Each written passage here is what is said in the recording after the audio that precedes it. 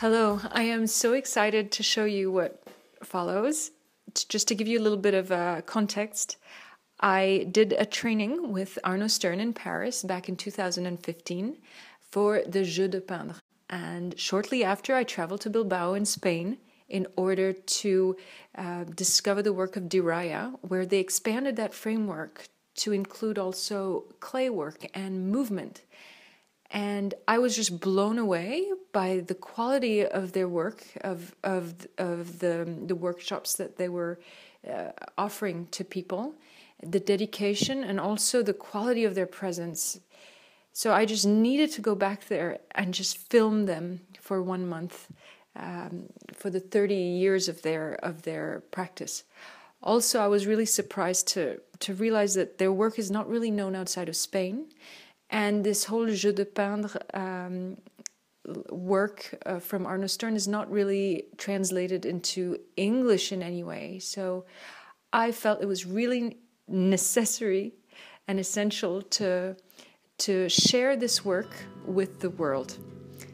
I am not a professional filmmaker, and so this is us traveling there with uh, two phones, and uh, I hope you enjoy.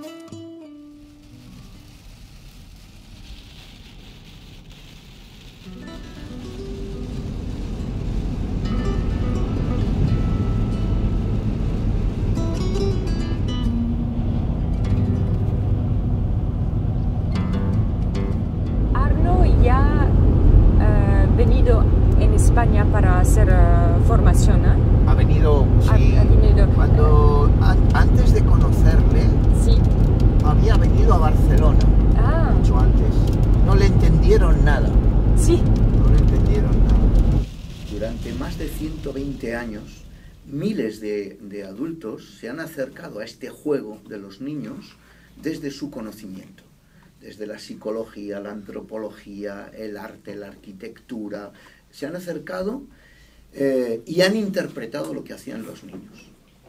Durante más de 120 años los niños les están diciendo qué es lo que necesitan hacer y no han sido escuchados porque les volcaban sus conocimientos.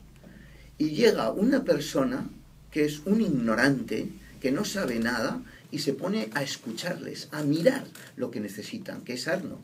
Y Arno, después de 120 años de que miles de personas desde distintos campos hayan hecho diferentes estudios sobre esto, es el que nos ofrece lo que es, lo que nos dice lo que es este juego. Arno apenas habla de estas condiciones, porque para él eh, esto es lo normal. No, concibe que no se piense de otra manera. Él habla, si habéis visto vídeos, eh, eh, fundamentalmente de la formulación. Es el código universal que Arno encuentra en sus viajes de exploración. Se- sabéis que en el orfanato se extraña de que los niños pinten las mismas cosas prácticamente, eh, casas, árboles, personajes, eh, vehículos, y se pregunta si eh, esto será porque son judíos todos, huérfanos. Entonces, ¿y cómo pintarán, o qué cosas pintarán otras personas, otros niños, en lugares muy diferentes? Él siempre pensó en principio como cultura completamente diferente en los nómadas en el desierto. Y como nadie le podía responder a esto, decidió que lo iba a buscar eh, por sí mismo. Y a partir de los años, de, de finales de los años 60, empieza sus viajes de exploración. En la selva, en, el desierto, con los nómadas, en el altiplano andino a 4.000 metros de altura. Y él lo que encuentra mm, mm, no es precisamente la respuesta a esa pregunta, sino algo mucho más trascendente, que es que existe un código universal que heredamos, que tenemos todos los seres humanos, con, que necesitamos emitir para poder expresarnos. Y esa emisión solo tiene lugar en las condiciones en las que estamos, de las que estamos hablando, que no tienen por qué ser entre estas cuatro paredes y con estos 18 colores, sino que pueden ser con un bolígrafo y un papel blanco, un bolígrafo negro y un papel blanco en los niños pequeños, porque lo que necesitan es trazar. Pero, con as- Fundamental. pero fundamental, con asistencia y sin juicio.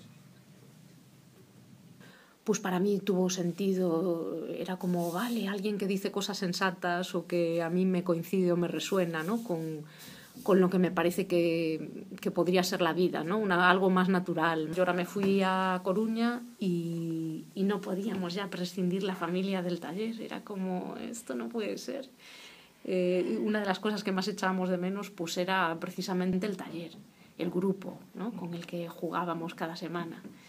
Y, yo ahora pues eso decidí montar allí un, taller y, lo que me han regalado ellos es este trabajo de, saber que puedo asistir a otras personas. Yo vengo de la, educación pública, soy maestro de música y, en mi experiencia diaria pues en la escuela me he dado cuenta que no que no encajaba mi manera de ver la educación con mi manera de pensar y al conocer eh, pues todo lo que envuelve la educación creadora pues ha habido como una conexión casi completa con, lo, con mi pensamiento.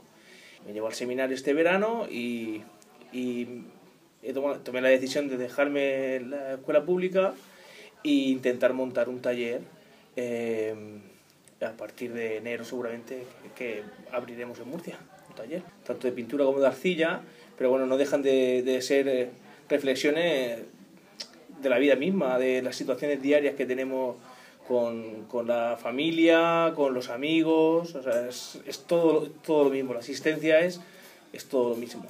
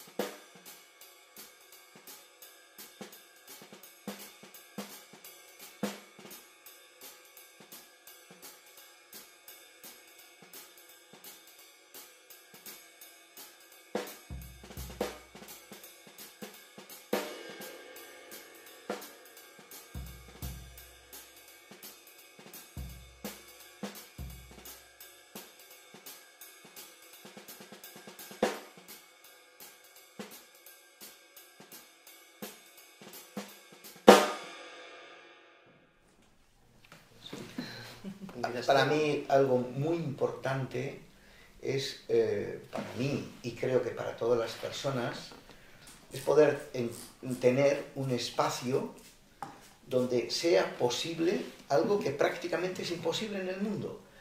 Y muy sencillo, que es poder ser uno mismo. Creo que es un, una necesidad, debería ser un derecho, eh, poder ser uno mismo y sentir que con lo que uno es, uno es eh, perfectamente válido y además aceptable eh, en, un grupo. Un lugar donde se va a dar un tipo de relación que no condiciona.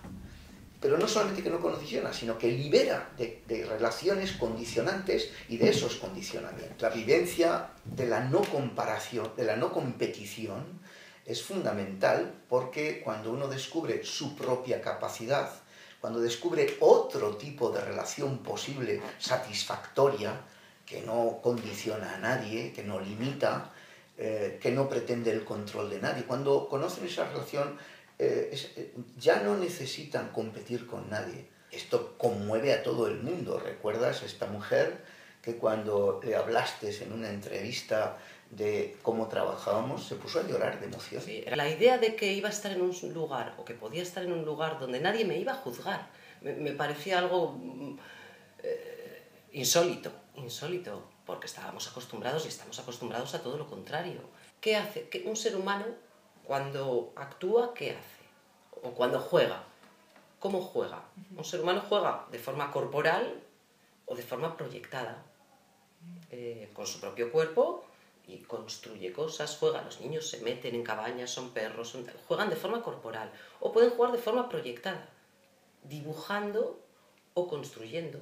De forma proyectada se puede hacer en dos dimensiones, que es pintar y dibujar, o construyendo en tres dimensiones. Lo importante, eh, lo importante es saber que las cosas que, se hacen, niños y adultos, eh, las actividades, los aprendizajes, los juegos, se pueden hacer de otra manera. Se pueden hacer de una manera en la que puedan eh, romperse los guetos homogeneizados de personas que para hacer determinados aprendizajes hacen lo mismo al mismo tiempo con un programa común. Y esto puede ser de otra manera. Podríamos decir que todas las personas sabemos pintar. Desde que nacemos ya tenemos todo lo, digamos, lo necesario para poder desplegarlo.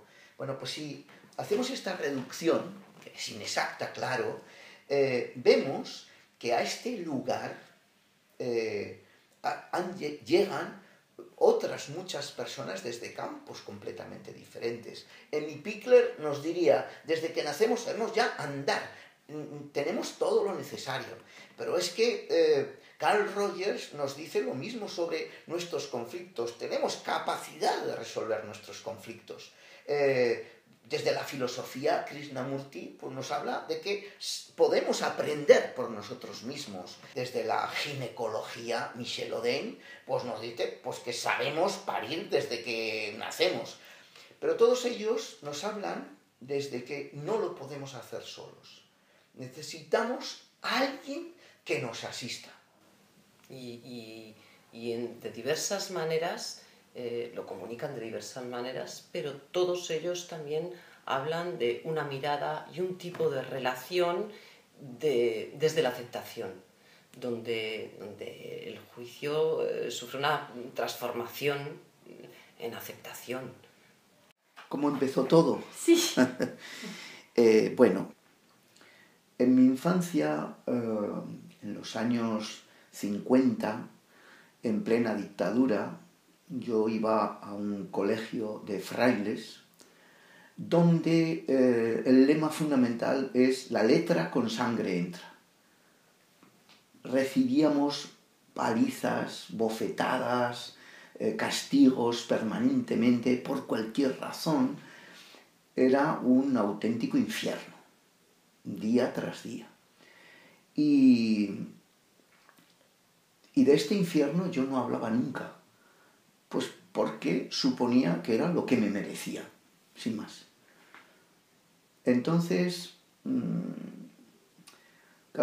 en casa no hablaba de esto y era, eh, mis padres eran gente también formada en, en, el autoritarismo, así que yo no veía mucha diferencia entre un espacio y otro, en el sentido de, de, poder hacer las cosas que a mí me podrían gustar, etc. Mis momentos libres para escapar de esta realidad me los pasaba dibujando, dibujando. Así que desde niño yo dibujaba muchísimo, todo lo que podía. Pues yo no tenía ningún interés en competir con nadie, nunca. Por eso, pero digo que fue no unas condiciones adecuadas, sino alguna desconexión neuronal debido a algún golpe o, alguna cosa que a mí me llevó a eh, solo poder estar de acuerdo conmigo mismo. Y que cuando veía una cosa que me convencía, la adoptaba. Pero si al día siguiente encontraba otra que me convencía más, abandonaba esa y me, me quedaba con la otra.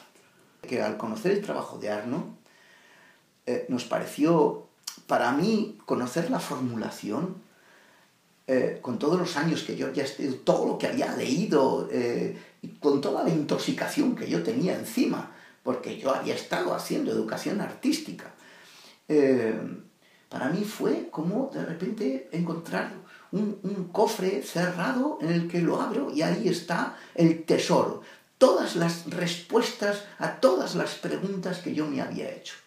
Entonces, para mí esto fue, claro, tremendo, ¿no? Pero además de esto, eh, nos preguntábamos si estas condiciones posibilitan que algo que era considerado un privilegio de personas especialmente dotadas, los artistas, y con estas condiciones para todo el mundo es posible hacer este aprendizaje, desplegar toda su capacidad de expresión, para las cosas que todo el mundo consideramos que son asequibles, aprendizajes como leer o escribir, por ejemplo, o cualquier tipo de aprendizaje en estas mismas condiciones que no pasaría. ¿Sabéis que esta chica un poco belga va a filmar? Pero en estas las podéis ocupar Bueno, hay, hay gente que piensa que cuando conoce este espacio, que es el que creó Arno, eh, piensa que este es un lugar de privilegio y que esto no es posible. ¿Cómo hacer esto en la escuela? ¿Cómo hacer esto con niños de, dos o de tres años? Eh, piensa que no es posible. Sabéis que aquí agrupamos a las personas de manera completamente contraria, como se hace en la, en la escuela. Es decir, que aquí cada grupo está integrado por un niño de tres años, pero ya no hay otro de tres, una niña de seis y ya no hay otro de seis, eh, una chica de 15, otra de 30, una señora de 42, un señor de 70, es decir, gente que manifiestamente se ve eh, que son diferentes. Entonces, aquí no hay poder. La relación es una relación todo lo contrario. Nos ponemos en las antípodas del poder para ponernos al servicio de los que vienen aquí, para detectar sus necesidades y satisfacerlas. Nosotros establecemos una diferencia entre el poder y la autoridad. Creemos que el poder lo coge el poderoso y lo aplica sobre los demás y la autoridad viene dada eh, por, si nosotros eh, asistimos a las necesidades de la gente y hacemos bien nuestro trabajo, confían en nosotros y nos dotan de autoridad, de una suave autoridad. Yo esto lo he aprendido de los caballos.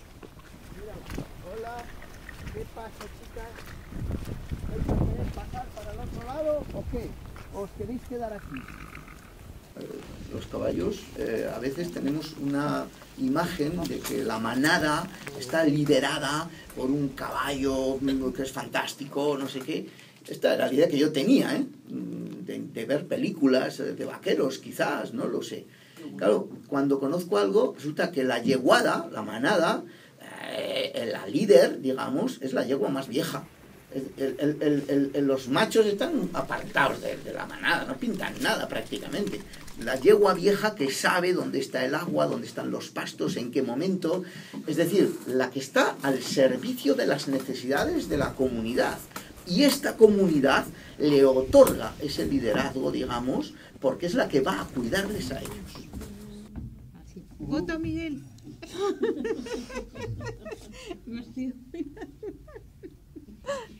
si es necesario, si necesitamos, eh, y esto debería ser un derecho, ser nosotros mismos, necesitamos el grupo, porque necesitamos ser acogidos y aceptados por un grupo. Eh, un grupo que nos acepte, que no nos juzgue. Este grupo, por tanto, eh, es una necesidad humana. No, no, es una forma de ahorrar tiempo y tener a mucha gente trabajando al mismo tiempo para hacer más negocio, etc. No, es necesario. Por eso la existencia de un grupo heterogéneo es un principio básico. El otro lo está comentando ya Vega. Es que aquí lo que vienen a hacer es jugar. Esto no es arte, lo que hacen aquí no es arte, no es un centro de terapia, no es terapia, sino que lo que hacen aquí es un juego. Un juego que Arno se tomó muy en serio. El juego es para todo el mundo, el arte es para los artistas, la terapia es para los enfermos y tiene una duración determinada mientras se resuelve un conflicto o, un problema. Esto es para toda la vida, para todo el mundo. Y es muy sano. Un juego no tiene finalidad. Un juego, diría unas notas, un juego no tiene finalidad, es algo que es, que es para él mismo. El que juega, juega para sí mismo, no juega para los otros.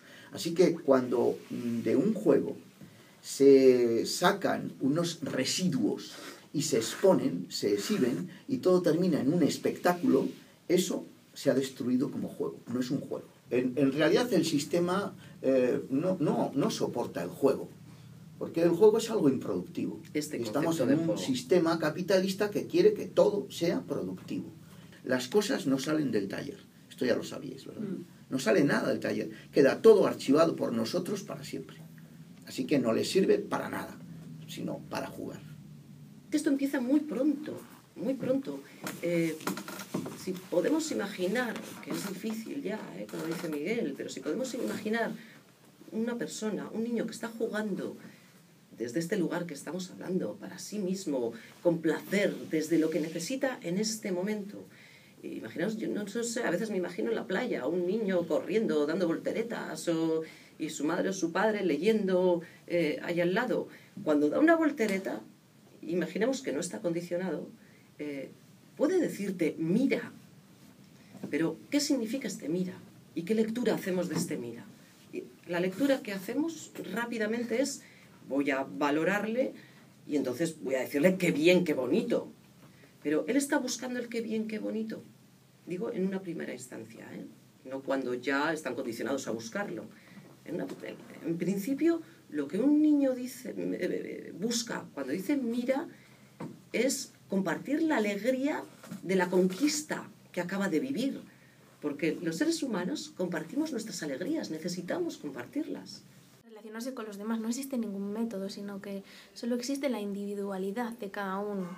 Y, y que eh, solo, solo podemos em, aportar eh, lo, que, lo que el otro necesita y nosotros podemos dar en ese momento, ¿no? Que eso es la asistencia un poco. Asistir es como eh, que de repente te regalen eso que necesitas en ese momento y que alguien viene y te lo proporciona. Yo cuando pinto en el taller, a veces no te das cuenta de que estás llegando a una, a una chincheta y de repente alguien viene y querías pintar ahí y ya estás llegando y Miguel viene y retira la chincheta y puedes pintar, ¿no? Es como que alguien te, te, te ayuda a poner como un poquito más fácil la vida, ¿no? Sí. Este, este rol de asistencia es un tipo de relación no condicionante, sino todo lo contrario, liberadora de las condiciones que ya estén establecidas. ¿no? Se concreta en acciones, eh, verbalizaciones, eh, que responden a ciertas necesidades. por ejemplo, las acciones que podemos hacer es si una persona está trabajando en la parte alta de un cuadro con la mano elevada y empieza, ya sabéis, cuando se trabaja así, empieza a temblar el pulso, ponerle uno de esos bancos que hay ahí para que suba y pueda trabajar a esta altura y tenga todo su pulso. Es decir, fijaros bien, un, poner un banco. Pero, ¿qué significa? O quitar una chincheta que interrumpe el desplazamiento del, pincel y la mano para un trazo necesario. Pero quitar una chincheta. Fijaros que quitar una chincheta o poner un banco son acciones que todos se pueden hacer y que saben que se pueden hacer. Así que no robamos ningún descubrimiento. No nos adelantamos a resolverles un problema técnico para el que ellos van a encontrar eh, solución técnica original. Lo que hacemos es hacer cosas que saben que pueden hacer para hacer su trabajo agradable, cómodo. Digamos que somos una especie de comadronas de la expresión. Nuestro trabajo es humilde. No se puede trabajar más que desde la humildad. Porque solo desde la humildad trabajas en la confianza de la, de la, capacidad del otro, del ser humano, en encontrar respuestas, encontrar soluciones, eh, eh, avanzar, eh, resolver crisis. desde ahí trabajamos, desde esa confianza y desde la aceptación del lugar donde está. Hay mucha gente que se plantea poner espacios con muchos materiales, con colores, con y se olvidan de que lo más importante que se le puede ofrecer a un niño es la persona que va a estar con él, con su riqueza, sus emociones, sus pasiones, sus intereses, su afecto. Así que ahí, fijaros que por un lado estoy hablando de la necesidad de humildad y por otra parte la necesidad de seguir trabajando con uno mismo, enriquecerse, aprender, eh, saber relacionarse, etc. Una, una frase de Arno y dije, madre mía, es, eh, le preguntaron en una entrevista algo así como, pero bueno, con la formación que tú haces, que es lo que se va a contar Miguel ahora, con esta formación que tú haces, cualquier persona podría ser un asistente, llevar un taller. Y él dijo, sí, claro, a condición de que sea una persona autónoma casi nada, ¿no? Casi nada, la construcción de nuestra propia autonomía. Para él viene, mm, es algo que lo da como por supuesto, pues es una construcción que a veces no termina, que no termina a lo largo de toda la vida. Aparecen diferentes situaciones en las que nuestra autonomía decimos, bueno, no es que soy o no soy autónomo, no es que ya me he independizado de mis padres, ¿no? ¿Hasta dónde, hasta dónde y en qué cosas soy autónomo? Que no, insisto, autosuficiente. Son cosas, no voy a insistir más en, pero es muy diferente, ¿eh? Autonomía de autosuficiencia. Cada vez que cargas, cada vez que el pincel ya ves.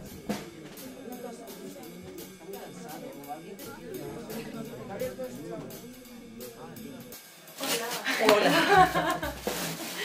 Desde donde yo recuerdo, hasta donde yo tengo recuerdo, las relaciones humanas siempre ha sido algo que me ha importado mucho. Siempre eh, me ha importado mucho. Yo antes decía que me importaba mucho saber qué hay ahí detrás, pero no es tanto saber qué hay ahí detrás, sino la conexión que existe, la, la relación que existe entre los seres humanos. Ahora tengo palabras que antes no tenía cuando yo estaba estudiando, cuando, pero la palabra para mí ahora es desde la vulnerabilidad. Hay, hay una cosa clave, para mí clave en mi proceso, ¿eh? Y es eh, la mirada que tiene Arno como asistente. Eh, e-, esa mirada de aceptación incondicional qué es lo que permite, qué es, lo, que, lo que significa, ¿no? O, de lo que está impregnada la vulnerabilidad en una relación, o una relación donde parte desde ese lugar. La autosuficiencia se vincula más a la soledad, yo solo puedo. Para mí la autonomía eh, sí que parte de mí, pero es con otros también. Pedir me parece uno de los actos más generosos que existe. Y es que pedir algo es hacer un regalo a la otra persona cuando, cuando estoy asistiendo desde este lugar, eh, el, placer es enorme. El placer de cuidar a otros eh, que me han regalado eh, esa vulnerabilidad de dejarse cuidar. Me, están confiando en mí, me están regalando su confianza en mí. Y, el regalo de confirmar que estoy aportando a su bienestar.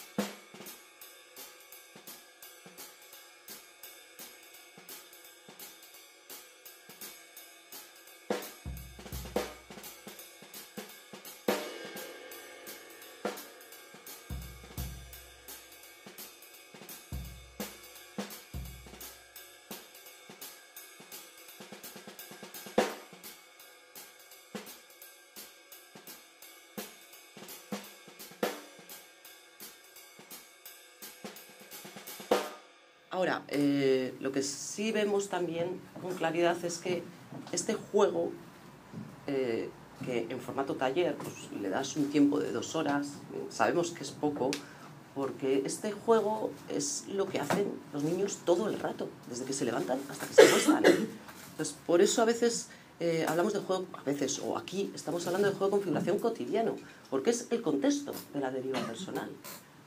ya habéis visto cómo había juegos que pueden durar y todos los hemos vivido y los hemos visto, que juegan un rato a no sé qué, y bueno, pues han estado toda la mañana jugando a perros.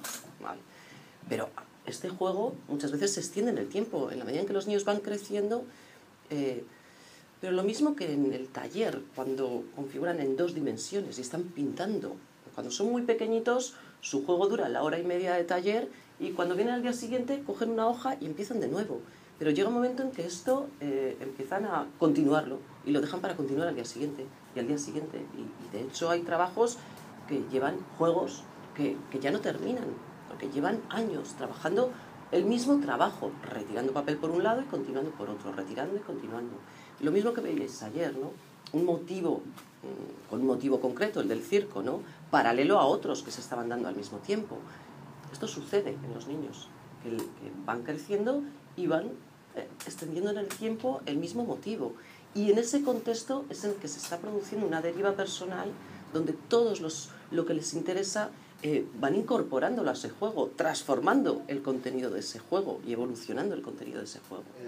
el término deriva personal procede de otras circunstancias un poco diferentes. Eh, mm, a, a, mi hija mediana, de, con mi primera mujer, en un momento dado, debido al, pánico que me entró porque se perdía, eh, dada la situación de analfabetismo funcional y deterioro eh, que tenía en la escuela, la saqué de la escuela, sin saber nada. Es como si ves a alguien que, querido que se ahoga eh, y te tiras al agua a sacarle y cuando te has tirado al agua descubres que no sabes nadar. Esta era la situación. Bueno, esto fue hace muchos años, era una cosa de locos, digamos, de, tal manera que había gente que me preguntaba, amigos que me preguntaban, curiosos, eh, que cómo iba, eh, lo que, qué pasaba con, mi hija. ¿no? Yo eh, me había colocado, me había movido de estar acostumbrado en la escuela a ponerme delante de los niños, a indicarles a dónde tenían que ir, qué es lo que tenían que aprender, con mi hija me había colocado detrás, a a satisfacer las necesidades que surgieran en su aprendizaje. Pero su aprendizaje era eh, muy diferente, claro, del aprendizaje que yo conocía lineal siguiendo un programa en la escuela. Era un aprendizaje que, mm, que se iniciaba eh, por un lugar, pegaba un salto, eh, asociaba cosas que yo no veía claramente con otras que, me parecían extrañas, eh, esas conexiones, esos movimientos en su aprendizaje, vistos desde atrás, a mí me parecían pues un caos absoluto. Así que cuando me preguntaban, ¿qué tal vas con tu hija? Yo decía, pues no lo sé, vamos a la deriva, sin rumbo fijo.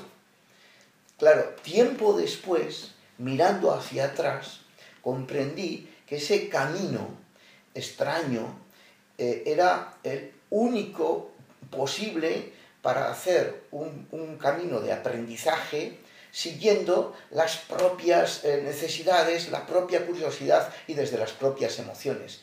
Y, claro que no tenía nada que ver con el camino rectilíneo que plantea un programa escolar, digamos, ¿no?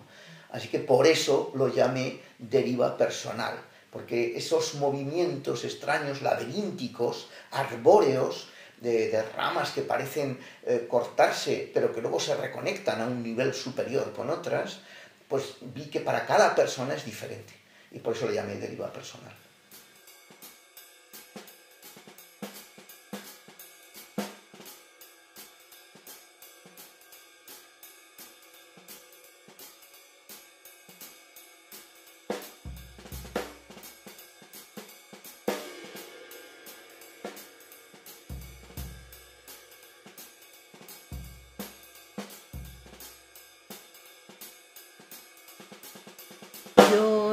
Otro día pintando, me vino a la cabeza cómo, eh, cómo mi hijo mm, era capaz de tantas cosas y, y, todo el bien que le había hecho el taller. Yo le veía a Iñaki que era capaz de, de ser un, un, ser pues multi, multiusos, por así decir, de hacer muchas cosas. Y yo creo que el taller le influyó mucho en su vida en ese sentido, de ser capaz de hacer cualquier cosa. Bueno, pues eh, yo empecé con 16 años el taller. Sí. Ahora tú has regresado. Sí, sí, sí, sí. Pues quería volver a retomar el tema creativo otra vez de la pintura, que bueno, pues aporta, aporta mucho, por lo menos a mí. Sí.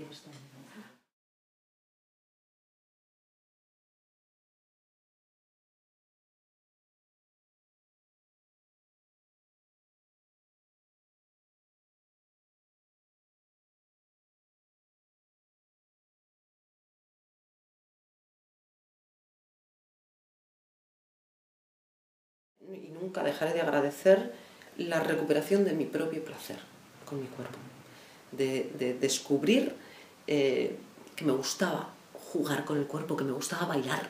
Yo siempre había pensado que a mí no me gustaba bailar.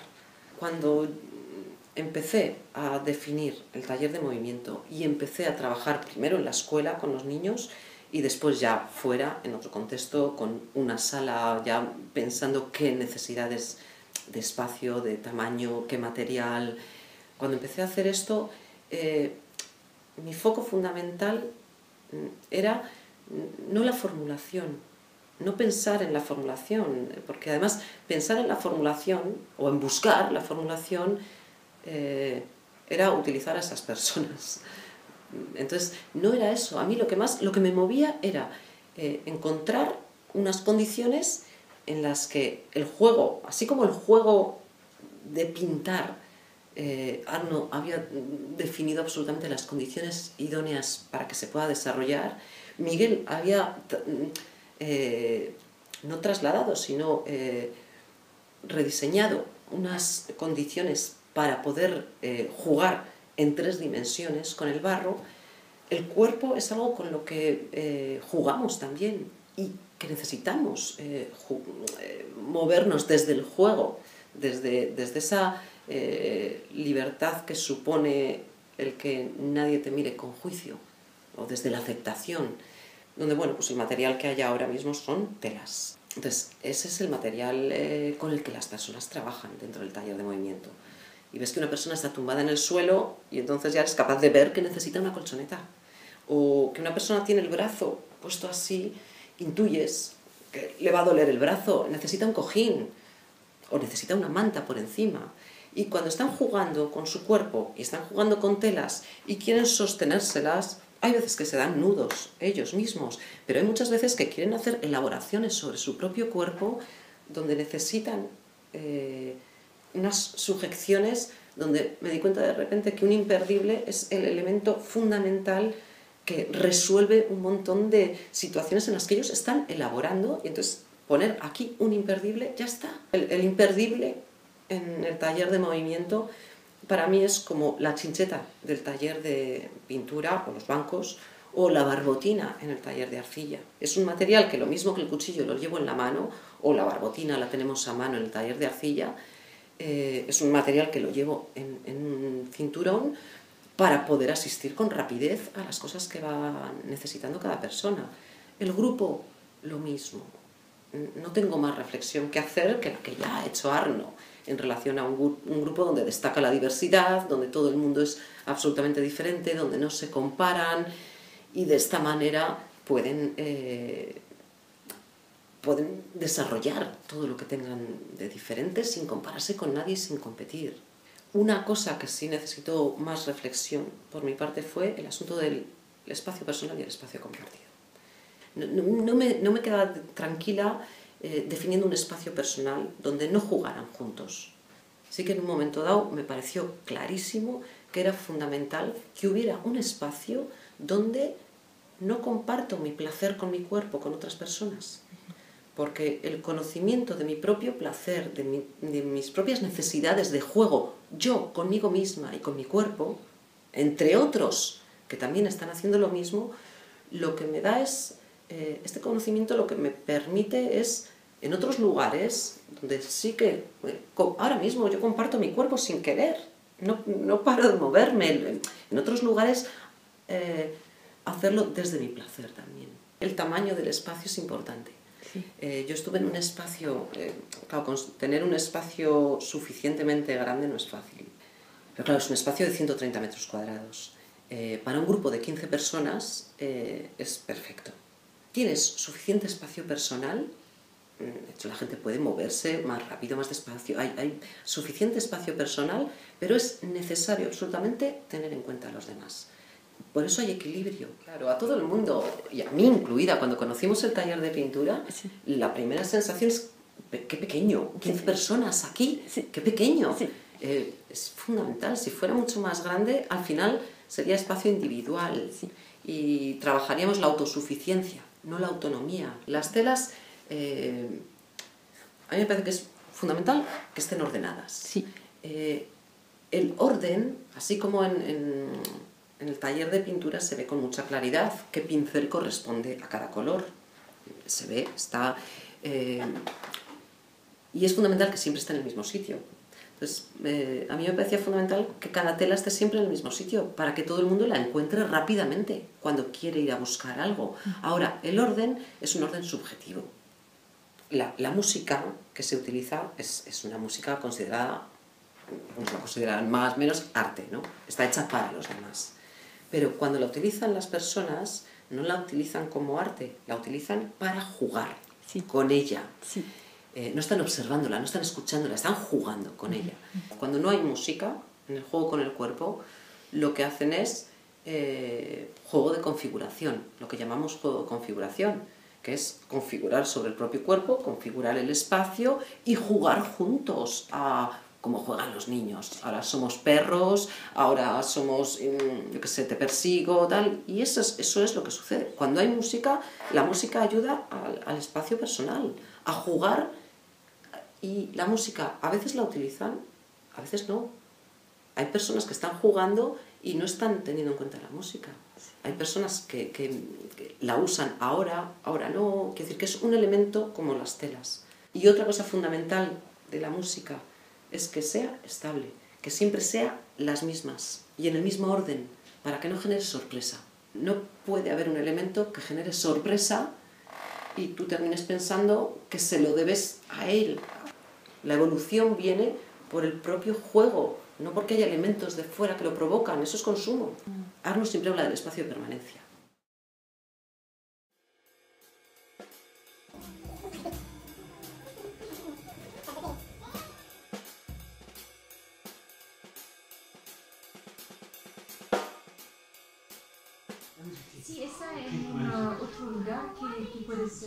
Si no hay uh, uh, rain, Lluvia. lluvia, Si no llueve, cuando, cuando tú, tú, tú quieres pensar, hay un lugar que quieres ir o... sí, Cantabria, en el monte. sí, me, voy a- me voy al monte, a Cantabria. Sí, Pero está a una hora de aquí.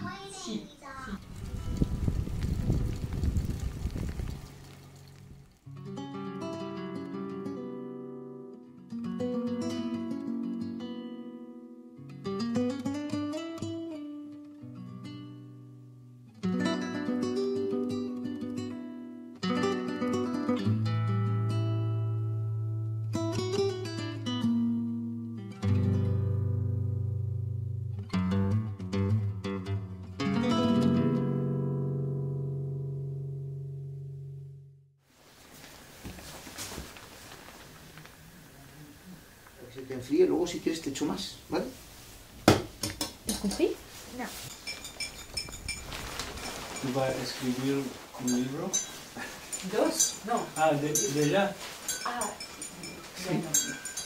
He has already written a book. Yo em, ya no ha, ha- escrito un libro. Ah, que sí he escrito. Me no, he escrito artículos, pero un libro no. Sobre esto, ¿cuándo voy a escribir? Bueno, pues a partir de ahora.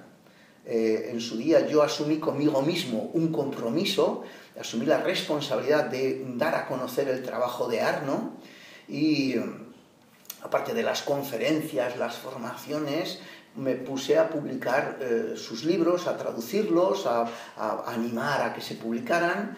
Eh, acaba de salir el tercer libro de Arno, va a salir el cuarto dentro de un par de meses y eh, creo que ya la gente que quiere conocer a fondo el trabajo de Arno puede eh, con estas publicaciones y yo me voy a liberar a mí mismo de este inicial compromiso y voy a empezar a hacer otras cosas. Ahora he empezado ya a reunir las notas de estos 40 años eh, y voy a empezar a, escribir eh, sobre la formulación en la arcilla. En todos estos años eh, he conseguido ver que la formulación existe en tres dimensiones, con la arcilla e incluso con otros materiales. Eh, siempre que estos materiales puedan ser manipulables. Si un niño se pone a jugar con tubos de acero, bueno, va a tener dificultades.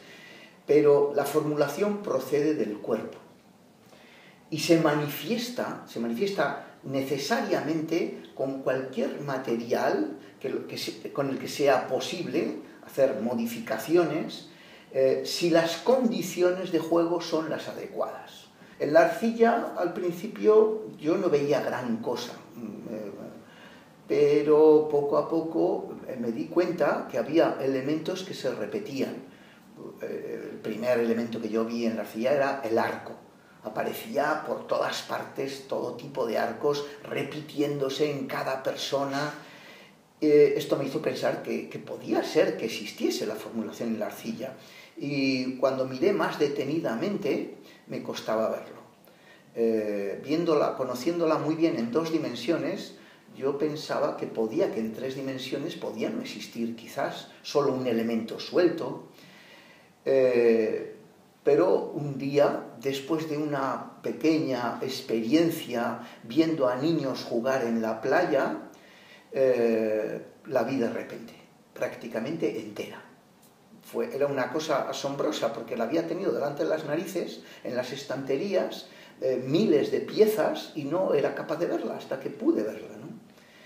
Eh, por tanto, la formulación existe en arcilla, existe todos los elementos, el color no existe en la arcilla, pero creo que la formulación que Arno ha visto, la ha visto lejos del cuerpo, procediendo del cuerpo, en un juego proyectado, y, eh, eh, eh, y, nosotros hemos hecho un recorrido, digamos, a la inversa. Hemos ido desde la formulación que Arno nos ha mostrado en, en, un juego proyectado, que es la pintura, hemos dado marcha atrás y hemos llegado al cuerpo.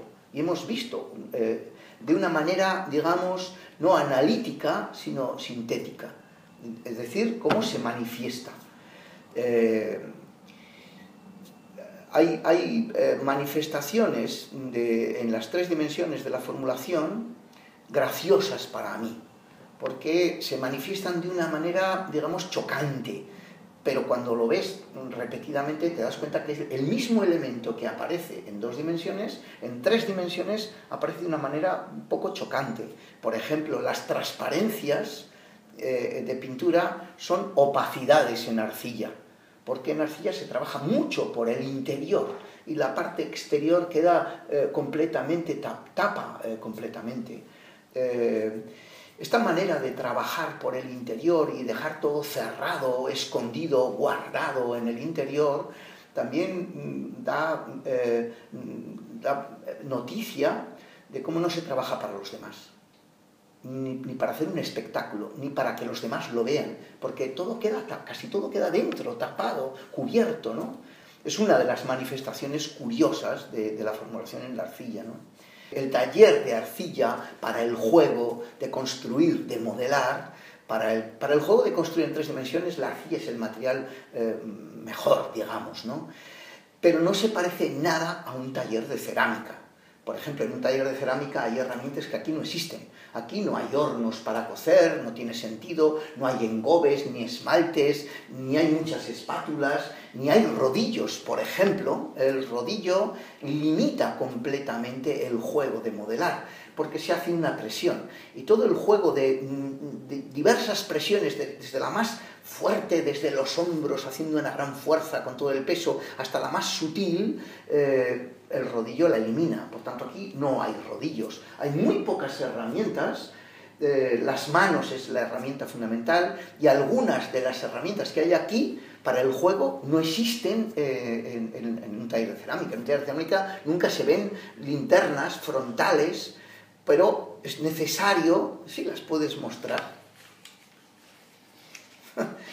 nunca se ven eh, este tipo de herramientas eh, ni las pinzas, pero esto en un taller de juego con la arcilla es fundamental, porque los niños, como trabajan y los adultos mucho por dentro, quieren meter y sacar cosas a veces muy pequeñas y los dedos no les caben. Y para esto, que es una simple pala de cubitos de hielo a la que le he cortado eh, la pala para dejarla pequeñita. Y para iluminar esas partes interiores, pues están las linternas algunos, eh, algunos están acostumbrados a trabajar con plastilina. Eh, cogen trozos de plastilina y los pegan y siguen trabajando. Y vienen y, quieren hacer pegar trozos de arcilla. Pero los trozos de arcilla simplemente pegados, parece que están pegados, pero si siguen trabajando un rato se secan un poquito y se caen.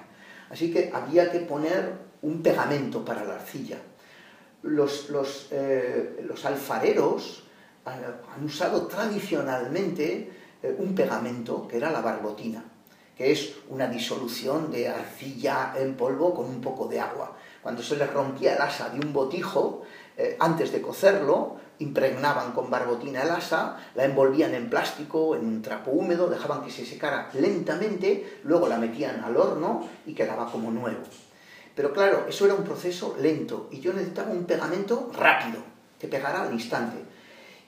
Se me ocurrió, pensé añadir un ácido para que ese pegado fuera inmediato. Claro, no iba a poner ácido clorhídrico o sulfúrico, pero pensé inmediatamente el vinagre.